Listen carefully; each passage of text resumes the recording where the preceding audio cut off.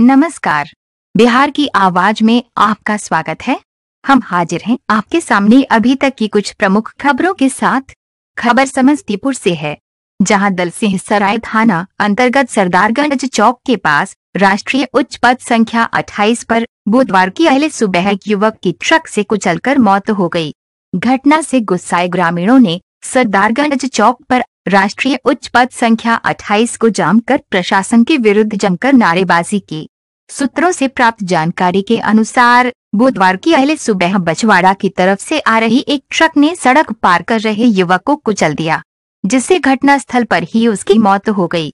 युवक की मौत से गुस्साए ग्रामीणों ने सरदारगंज चौक के पास एनएच 28 को जाम कर दिया।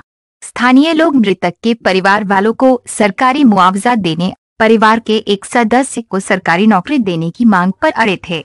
जाम के कारण नेशनल हाईवे के दोनों तरफ़ गाड़ियों की लंबी कतारें लग गई।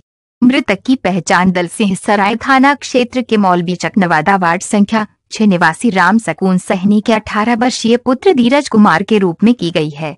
घटना की सूचना मिलने पर थानाध्यक्ष प्रवीण कुमार मिश्र सदल बल घटनास्थल पर पहुँच लोगों को शांत कराने की कोशिश किए लेकिन जाम कर रहे स्थानीय ग्रामीण और ज़्यादा आक्रोशित हो गए।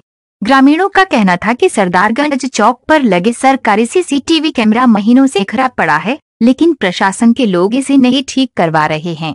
अगर सीसीटीवी कैमरा ठीक रहता तो ट्रक की पहचान कर उसे पकड़ा जा सकता था।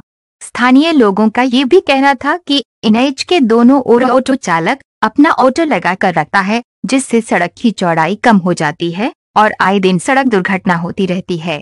ग्रामीणों ने पुलिस प्रशासन पर ऑटो चालक से पैसा वसूली का भी आरोप लगाया है। काफ़ी समझाने व मुआवजा देने के बाद ग्रामीण शांत हुए। स्थानीय पुलिस ने शव को अपने कब्जे में लेकर पोस्टमार्टम हेतु सदर अस्पताल समस्तीपुर भेज दिया है। घंटों बाद एनएच पर यातायात व्यवस्था सुचारू रूप से शुरू हो सका। थानाध्यक्ष ने बताया कि मामले की जाँच की जा रही है। अभी तक के लिए बस इतना ही। कुछ देर बाद हम फिर हाजिर होते हैं। तब तक के लिए हमें इजाज़त दीजिए।